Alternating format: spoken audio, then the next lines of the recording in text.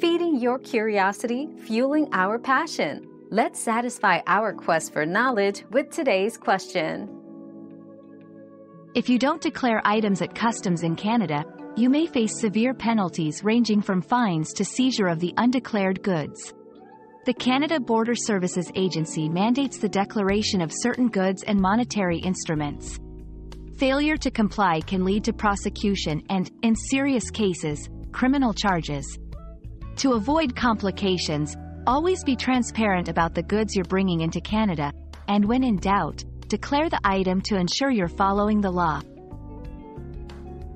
Our quest for knowledge never ends. Thanks for being part of today's discovery. Subscribe, like, and share to join us on the next one.